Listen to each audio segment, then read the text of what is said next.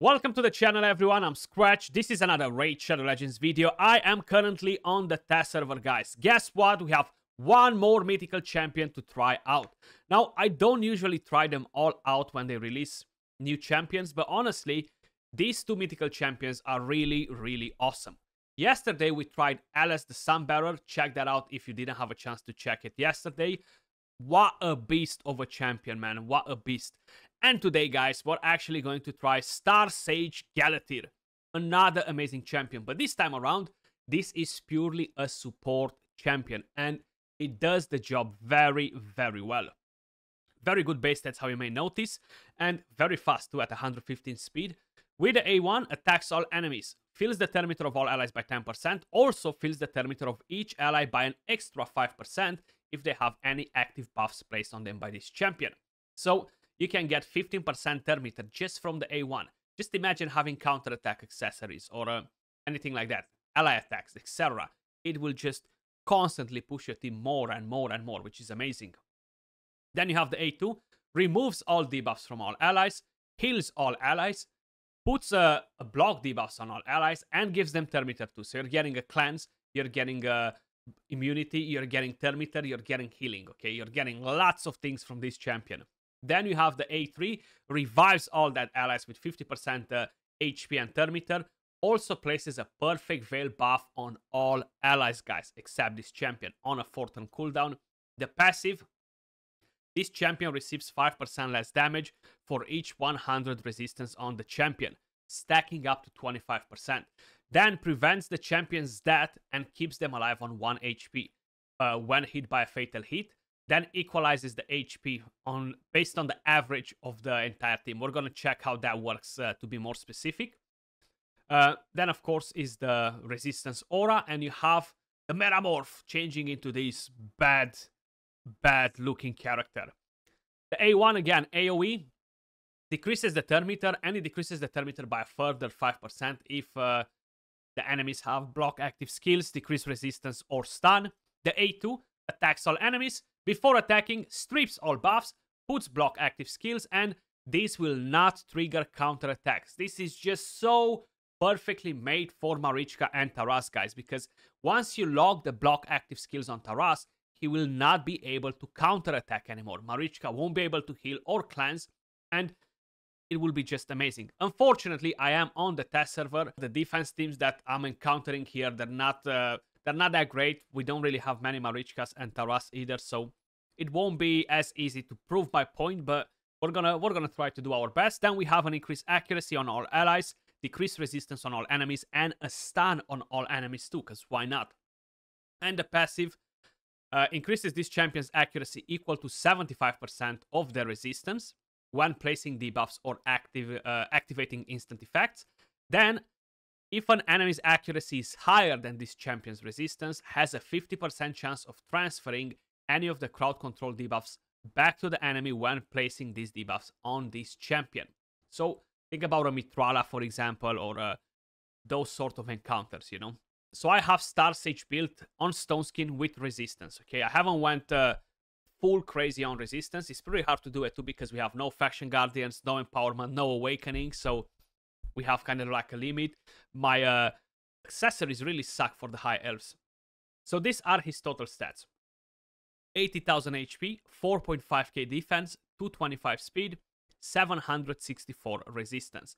Now you can create different builds. It really, really depends. You can go with uh, no resistance, go even tankier, much tankier on the HP, faster if you want. I can definitely tell you that this champion will be super powerful for live arena. Again, mythical champions, they tend to be very powerful there. And when they have kits like this champion or even Alas, they're like, wow, you know? Then for uh, masteries, we have um, defense and support 3. We have Unshakable S tier 6. And uh, we went down to lasting gifts. You can go with Steadfast if you want, get a bit of a extra healing, lay of hands, you know. But it really depends uh, what sort of things you have in mind with uh, with a champion, you know. That's how we're looking. Now, first, we're gonna try this champion in arena. Then we're gonna do a run in Hydra and see how well the champion performs in there. It's going to be amazing there too because not only that you're getting the turn meter with the A1 is an AoE attack. Uh, it makes the champion great on different sets too. You can always use a provoke set if you want just for Hydra. You can always uh, use a completely different build. My main thing is I wouldn't suggest you to sacrifice this champion only for Hydra when it can do so many things. Then the A2 will remove buffs from the enemy, will give you increased accuracy. Again, uh, AoE attack, which doesn't really do nothing, but the first one will boost the turn meter on your team quite a bit, especially if you have ally attacks and stuff, you know? Let's do a couple of quick fights in arena, guys. We want to see how the passive works. We want to see how good is the champion uh, to support your team. We want to see uh, how good is the block active skills against Marichka and Taras. This team right here has a Georgit, so we have the perfect opponent to uh, hit our champion. He's the lowest HP, so we want to see how the HP equalizes on, uh, on our champion, you know? Georgit, come on, do your job. 155k hit, the passive proc, how you may notice, and the HP equalizes based on your entire Steam HP. So they make an average based on that rather than just pushing it to full HP because you already have a max HP champion, you know? So is is creating an average as described. So that's that's still pretty good. It's actually very very effective, you know. Let's uh, get some uh, some thermometer with A1. I like that basic skill. Now the passive is uh, on cooldown, uh, so having a, a, revive to come out directly from this champion will be uh, acceptable, but I feel like George it will end me before I get to, to that part, you know, no matter what I'll be doing. Unless, unless, if, if that hex doesn't reflect it back, we're good, but it did. And it reflected it back from Georgie as well, which is such a shame. Why not from Arbiter, you know? So that's fine. That's basically what happens with the passive, which is good. Now, if we're going to find the Marichka and Taras, we have MTG Jedi here. Let's let's try to reset and find him again. Come on, come on, wherever you are. MTG Jedi. Now here. Maybe here? No. What are you hiding? There we go. There we go. So let's see how will the block active skills actually work against uh, Marichka and Taras. Some of you guys might not be familiar with it. I'm pretty familiar. I know exactly uh, what it does. Uh, I always used to uh, use it with Lydia on uh, on Taras before when I had older teams with uh, with her in the team. So, for example, I'm just gonna have to boost the turn meter to make sure I'm fast enough. I haven't built him super fast, so they might just cut on me, which is gonna be a bit of a shame. Let's actually put a couple of buffs on. Okay, Taras doing his uh, his job. Let's try to take somebody down or get close to it. Okay, so one down, man down, extra turn. We increase the cooldowns of the skills. He did the same thing to me. So right now, we're going to go straight to the other form. Now, the problem with this is that it's a very high risk to get polymorphed, you know. So for a Platinum Arena, it's not really going to be as effective. For Live Arena, again, you're going to find even more sheep than in Classic Arena but it might save you. It might save you, basically, you know? Block active skills, and now Taras will not be able to counterattack. Whenever we are going to hit Marichka, Taras cannot counterattack, okay? Right there, he actually just used his turn. But he doesn't counterattack with the A2, you see? And that's because we have block active skills on, uh, on him. That's exactly how it works, in case if any of you guys were, uh, were wondering, you know? So let's try to, to take them all down. Beautiful. Right now, let's do that. I cannot swap forms, but I can do this. We dropped a bit of turn meter on them. Okay, she revived. That's fine. I really wanna get to the other to the other form, you know. It's a bit of a problem with that Taras right now. Okay, so if I do this. No! Ah, oh, god damn it. Directly on the revive. Okay. So you've seen it doesn't counterattack. I want to see when the rest of the champions die and that champion is left alive and then the passive comes in play and you revive. How nice how nice it feels, you know, how nice it feels to have that on. I can go against the MTG Jedi again, so I'm gonna take everybody out that has stone skin, you know. We're gonna we're gonna go in like like this, yeah. Yeah, I like this. This this looks good. Okay. I'm gonna let him look me, basically. Okay.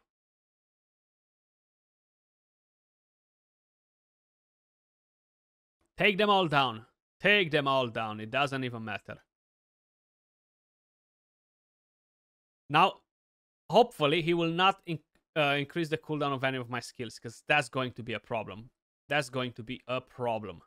So I'm going to do this instead. So they focus on him. Just so they don't inc increase the cooldown of... Actually, he doesn't require accuracy either. So what I'm going to... Let's try to break that uh, stone skin. Okay. Okay, so basically that's that's a bit of a bummer, okay? I, I was actually I was actually thinking that that might happen because I have no uh no allies alive. The HP from the passive that gets equalized gets left to 1. And because of it, I don't even have a chance to to get to revive because if you just pinch me, I'm dead. So I, I was actually thinking that this might be the case. It's a bit of a bummer because you might think that, okay, maybe I'm going to get some HP and have a chance to survive and then revive the rest of the team and continue. That's a bit of a bummer.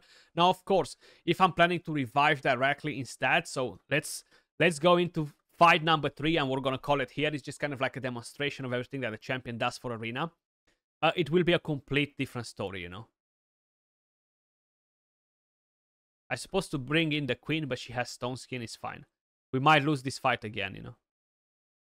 Okay.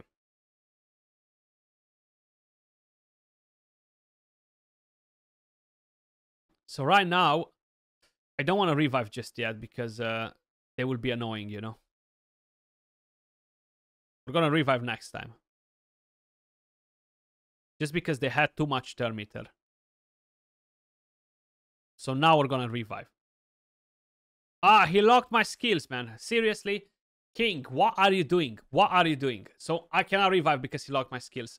What's the chance to lock exactly that skill out of the, the, the two of them, man? Like, serious. Let's go against Jacob. He has a good team, and uh, hopefully his Mithrala won't be getting locked. Okay, resisted. That's what I want to see. That's what I want to see. That's fine. Ooh.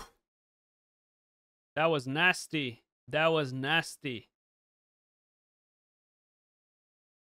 Ah, uh, only if I had a couple of buffs on, you see? I forgot to buff. I forgot to buff before.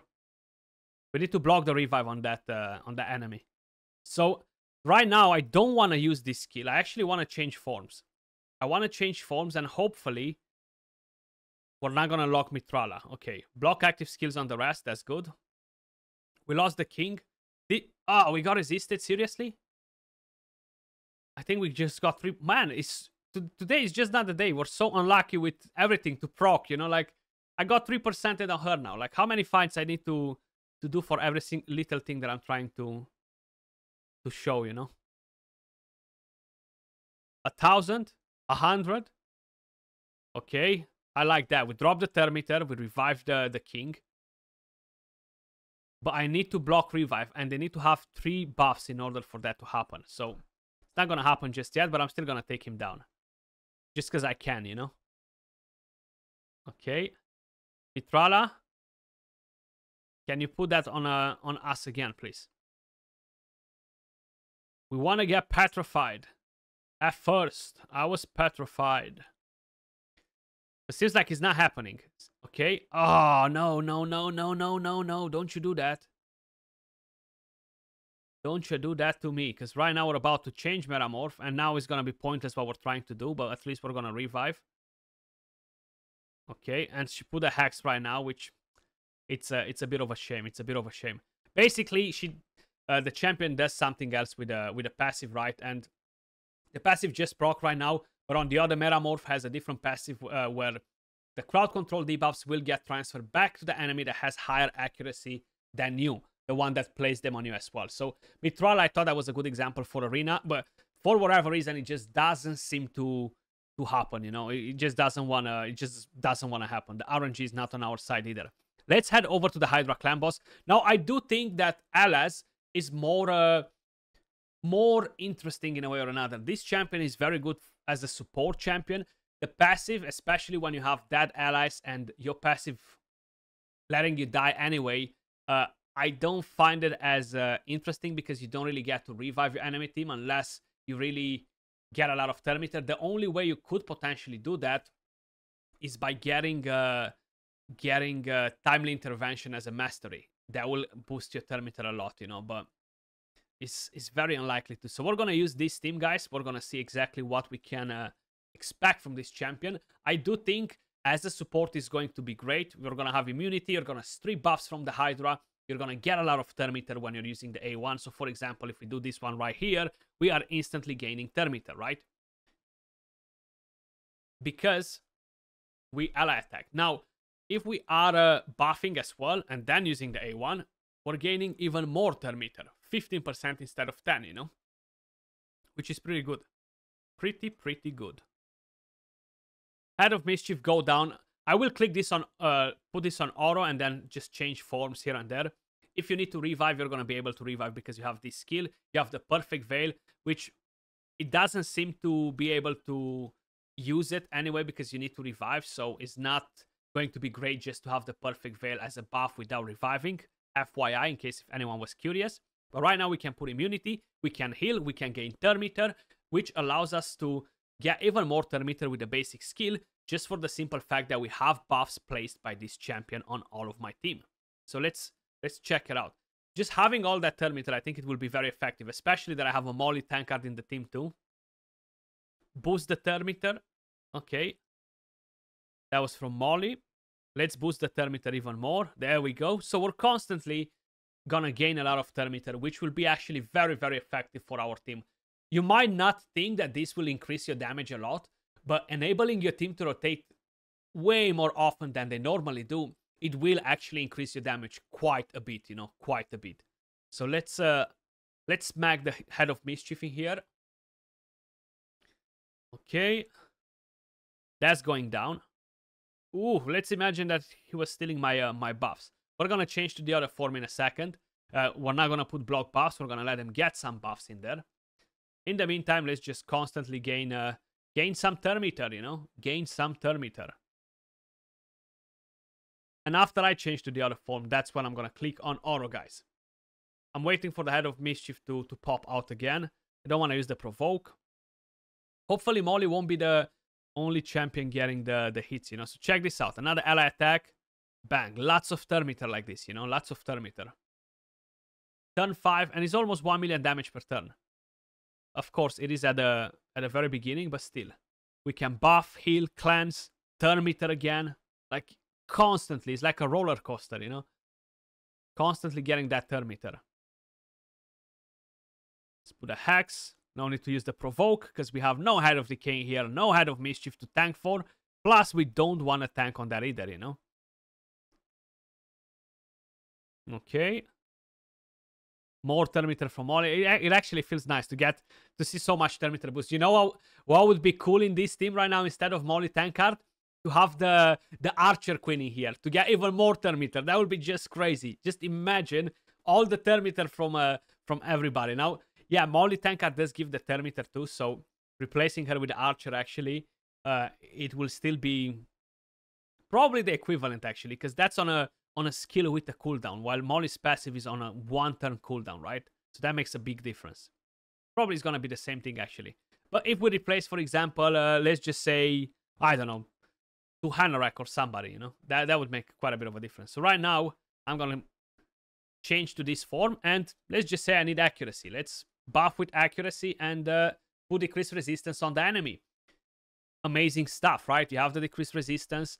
Uh, I feel like in a ways, uh, in a way, it was going to be better to have decreased accuracy because um, it could be interesting, but that will uh, be counterproductive uh, for the passive, you know, because you need the enemy to have higher accuracy than you in order to transfer back the crowd control debuff to the champion that placed it. Okay. Do we get the Head of Mischief back? Or who's, who's coming back? Okay, we have the Head of Decay. So right now, with this, I can put block active skills uh, on champions only. These will now work on bosses, right? So I can remove buffs from the enemies. And it will trigger no counter attacks, which again, it will be irrelevant for our fight here. But the part of removing uh, buffs, putting increased accuracy on your team, decreased resistance on the enemy, using your Metamorph to go back to the other form, perfect. That's what you want to do. You don't want to stay too long with this Metamorph because it's pointless. Once you you got you got the job done, move over to the next one, get your support in.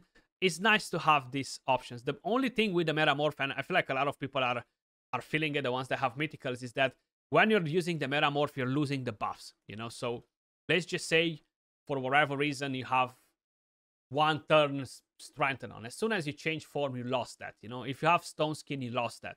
So they're not as uh, great when you're changing forms. It's not as uh, efficient to do it too often, especially if you're uh, relying on those buffs or stuff like that. You know.